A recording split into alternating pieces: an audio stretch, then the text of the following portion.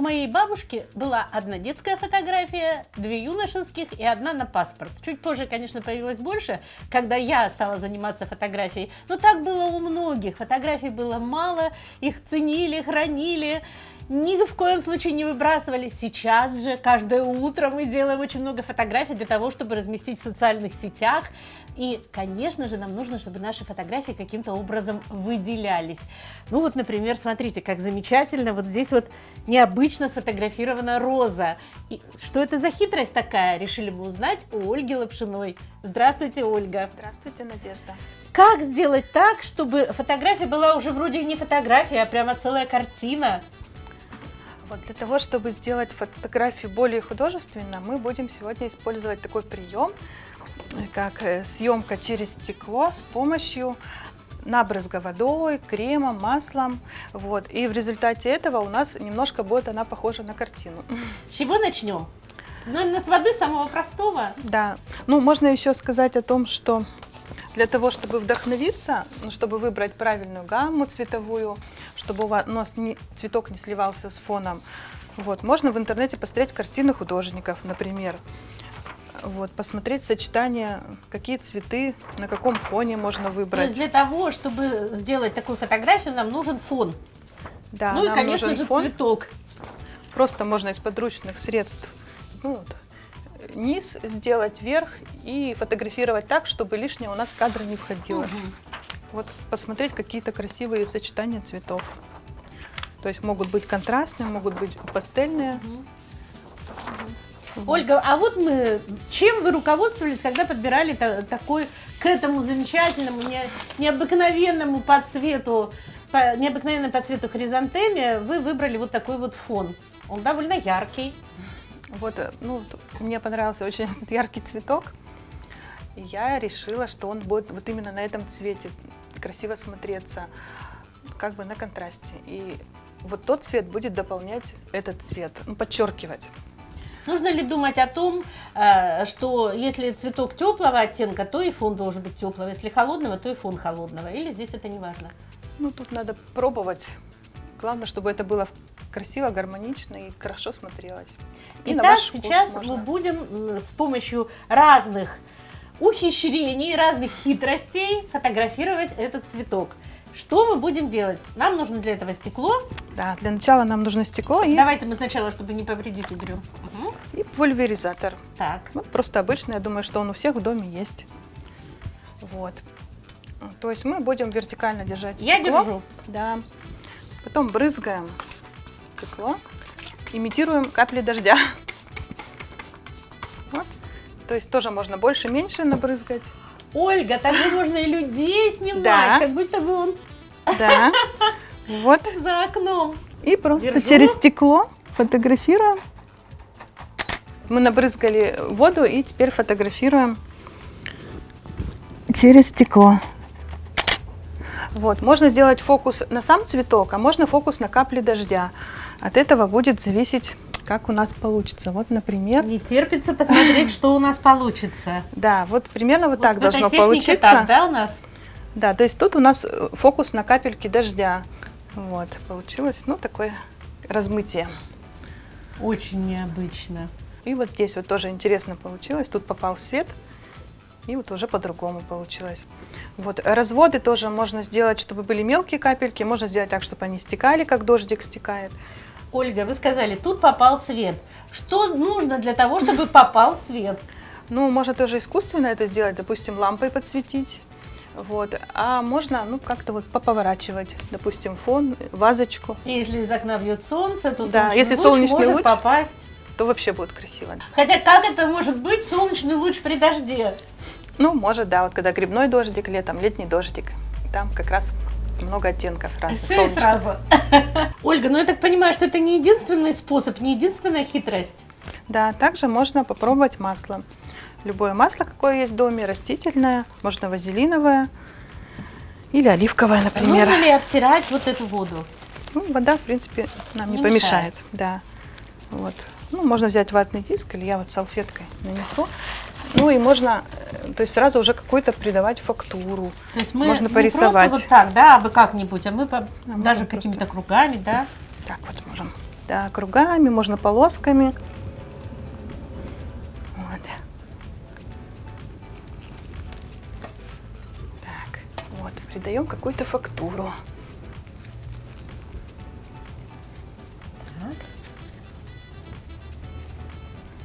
Вот. Задаем какой-то необычный, Да.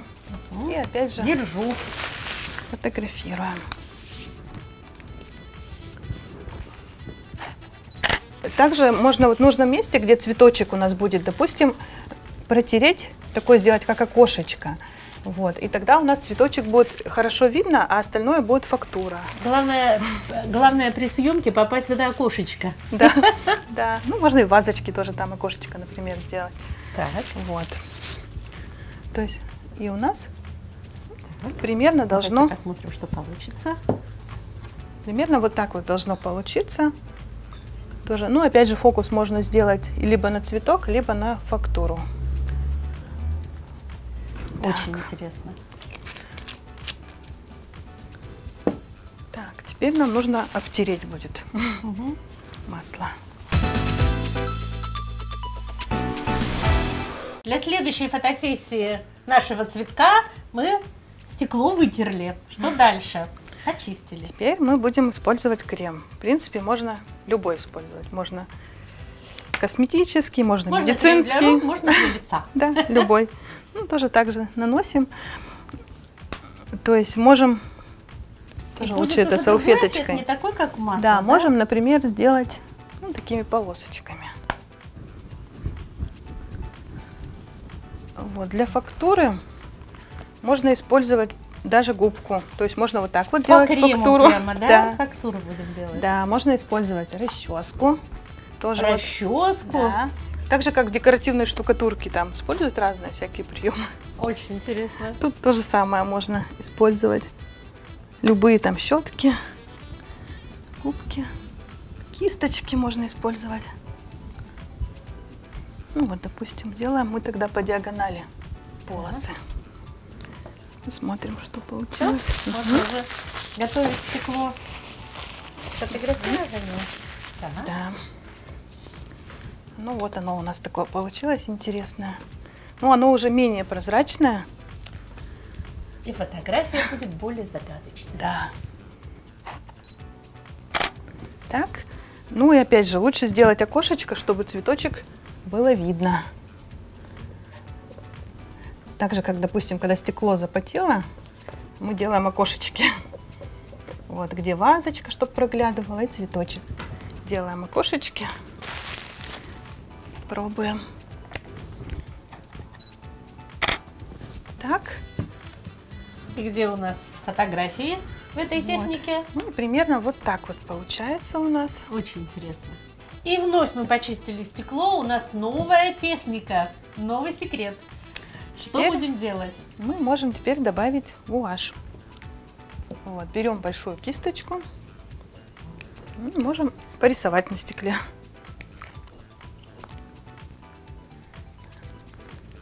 Тоже. Ну, я взяла желтенький, можно, в принципе, какой-то другой цвет взять. Я так понимаю, что закрашивать целиком не нужно. Да, можно.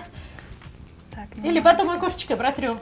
Да, можно, ну так и так можно. Можно, если сделать без окошечка, то будет как более абстракция.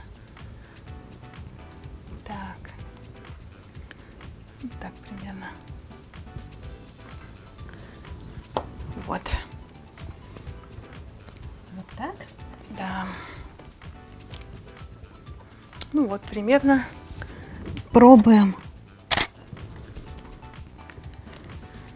Так, И вот так пробуем. получается? Это у нас так более абстракция, это у нас примерно вот так получается. Интересно. Тут же можно было любого цвета краску, да? Да, можно Взять. было любую. Так, а теперь сделаем опять окошечко. Давайте. Можно как немножко закруглить фактуру, там вот сделать спиральки какие-то. Вот, и опять фотографируем. Ага, давайте. Вот, и у нас получается примерно вот так. Как интересно. Фотографировать не обязательно можно на зеркальный фотоаппарат, можно также использовать телефон обыкновенный. Вот. И в редакторе обрезать лишнее, откадрировать. Можно добавить яркости, контрастика. И будет у нас как открытка. О, замечательно. Ольга, ну почему-то хочется сразу спросить, можно ли людей фотографировать вот с такими вот интересными э, приспособлениями? Можно, можно людей, можно на улицу просто выйти, какие-то здания фотографировать какие-то трамвай, через трамвай. стекло. Да, можно попрыскать. Интересно. Вот, ну, есть такие маленькие варианты. У меня есть вот такой небольшой пульверизатор, я с ним иногда хожу. Попросить прохожих подержать стекло и сфотографировать трамвай. А вот селфи можно сделать? Вот есть ли какие-то приспособления, чтобы селфи вот тоже сделать как-то необычно? Селфи тоже можно на зеркало также набрызгать капли воды, ну, либо там кремом намазать. Вот, ну, это хороший, хороший вариант. Я еще такое не пробовала, поэтому попробуем. И сфотографировать уже себя Да. в зеркале. А вообще, Ольга, вот как фотограф, несколько советов, как сделать хорошее селфи. Хорошее селфи, ну, существует правило третей, это если углубляться. То есть мы мысленно можем разделить на экране, там даже сейчас есть подсказки, такие линии, да, вот, мысленно разделить на 9 частей экран, и точки пересечения – это точки, 4 там такие точки, где желательно располагать главные объекты, да. Но вот если, допустим, это у нас будет человек, то можно его сместить не по центру, а чуть-чуть в сторону. Вот. И тогда фотография будет уже, уже как-то более художественно выглядеть. Вот. Также что еще можно использовать? Как Свет. фотограф, я хочу, чтобы вы подсказали, как нужно встать, как нужно посмотреть, как нужно себя держать в кадре. Это же очень важно. И я знаю, что вы владеете этими секретами.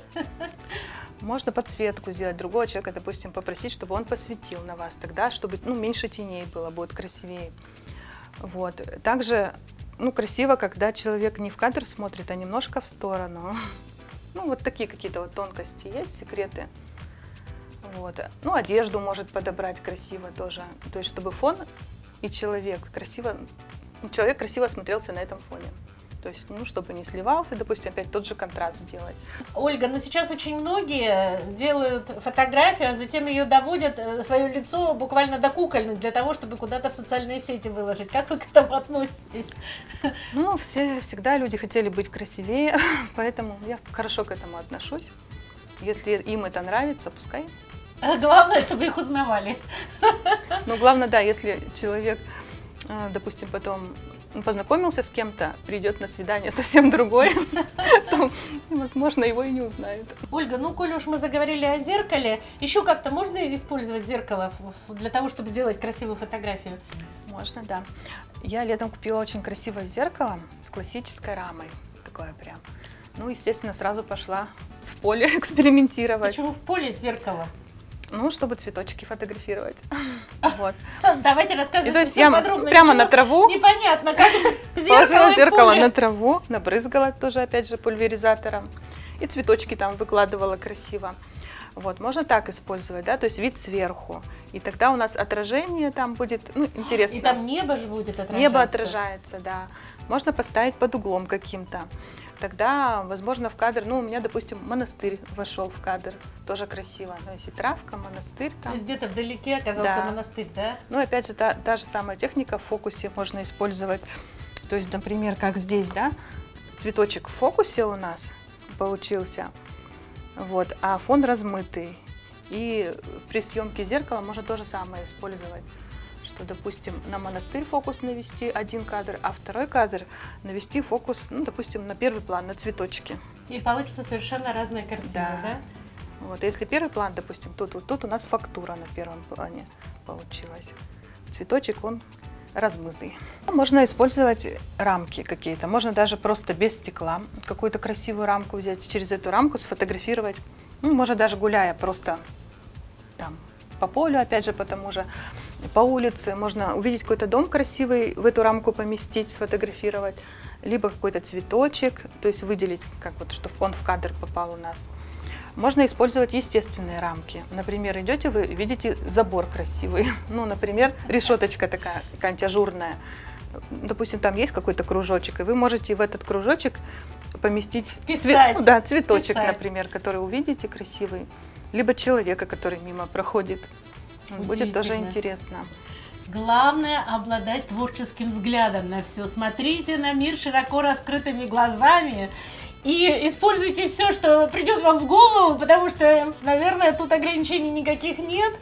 Ну, я думаю, начать надо со стекла, поскольку тут уже все шаги прописаны, и можно уже прямо сегодня попробовать сделать это дома. Спасибо огромное, Ольга. Это так увлекательно, обязательно попробую. И вам тоже советую. Спасибо, Надежда.